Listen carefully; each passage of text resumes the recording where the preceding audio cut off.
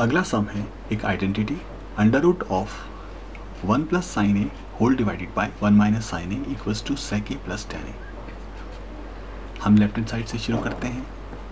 L H S equals to under root one plus sine A divided by one minus sine A हम इस under root के अंदर ही इसको multiply करते हैं वन प्लस साइन ए से। और डिवाइड भी करते हैं वन प्लस साइन ए से। हमें देखिए, हमें क्या मिलता है?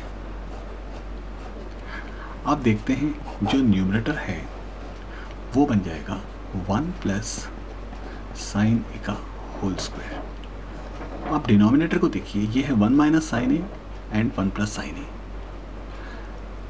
हम देखते हैं कि यहाँ हम एक आइडेंटिटी लगा सकते हैं। A minus B multiplied by A plus B equals to A square minus B square जहाँ पे ए की वैल्यू वन को हम ले लेते हैं और बी की वैल्यू को हम साइन ए एज्यूम कर लेते हैं। तो हमें इस प्रकार आइडेंटिटी यूज़ करके मिलता है one square minus sine square A और आपको पता है one square minus sine square A मतलब one minus sine square A which is cos square A इसको अगर हम रिप्लेस करें तो हमारा लेफ़्ट हैंड साइड पूरा बनता है।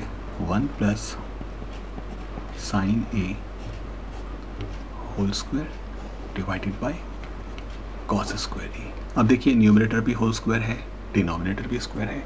तो क्यों ना हम इसको ऐसे लिखते हैं? Under root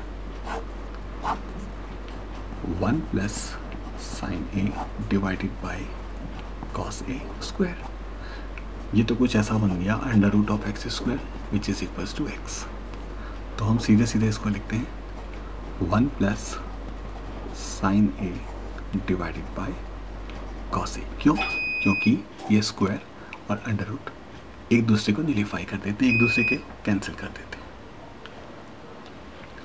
आगे सॉल्व करने पे हमको मिलता है one plus sine A divided by cos A. Equals to one divided by cos A plus sine A divided by cos A one by cos A cos A का reciprocal है sec A और आप जानते हैं sine A divided by cos A होता है ten ए तो इस प्रकार ये आइडेंटिटी प्रूफ